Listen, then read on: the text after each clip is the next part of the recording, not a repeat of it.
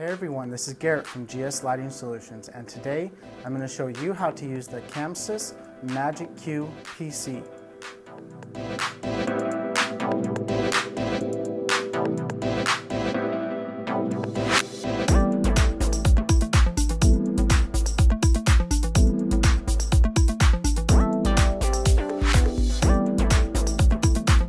Alright, now I'm going to show you some of the different palettes um, and effects. So first let's go ahead and start with the palettes. As you can see we have three different layouts. So layout one is your default layer with your default presets. So you have your groups, your positions, and your colors and your beams. Now if your light had a different beam effect, it would show up in here.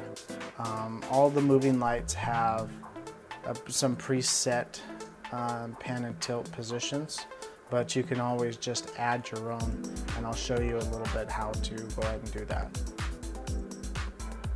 So now you also have colors, and then you also have up here, you have effects.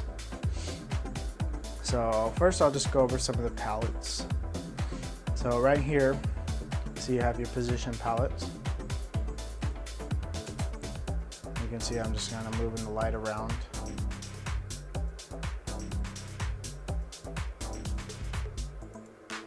And then you can also just select a group and do the same thing.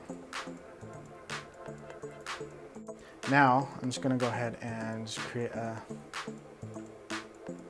basic, another PT. And that looks good. Actually, I'm gonna take it down just a bit. And then right over here on the right hand side, you'll hit, you see record.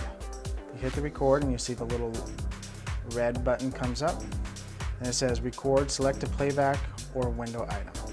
So I'm going to hit position here. All right, now I'm going to go ahead and give it a name. So I just clicked on the position and I will say middle wall. Enter, and there we go. So right there in the middle wall is where I have that preset. So now I can go select whatever I want, come right back there. Boom. All right, now I'm just gonna show you how to uh, do some effects. So now I'm gonna go right here to add effect. And we'll just start with the, uh, the Flurry EXAs. I'm going to just show you a, a, small movement effect. So right here in Add Effects, you have a few different ones you can choose from. So for our purposes, we're just going to do a position and let's do a diamond. So right now you can see that the speed is at 2.4 seconds to complete the, the program or the uh, effect. And right here you have your size is at 50%, your X fade, uh, your stop size, direction, and whatnot. So let's go ahead and we'll just change the size to 25. So as you can see, it made it a lot smaller you know, everywhere from there to 10%, 100%. And then that gives you the that gives you the option to use the full motion of the light. So let's just go ahead and do 15% enter just so that we can kind of see what's going on. And now let's go ahead and change the size. Let's go ahead and change the speed to about 0.75 seconds. So that's a little quicker. Now I'm going to go ahead and um, add another effect.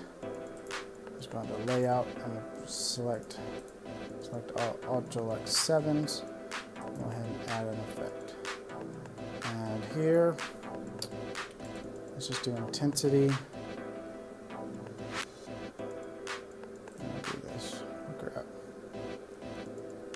As you can see, basically just added a, a flicker effect. Um, so we'll figure out, play around with this. We'll change the size to about 75%. So I change the brightness and the intensity of the flickering. Change it to 0.75 seconds. You can see it kind of changes it up just a bit.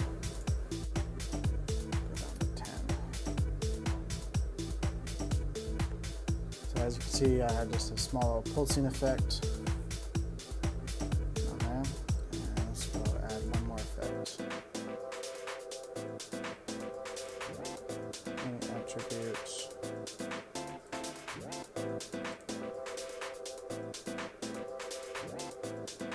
As you can see, I just went and do a, a ramp effect on the green channel. So we'll just change that to 0.5 seconds. And you can also change the effect so that the lights themselves are matching or you can have it so they are alternating.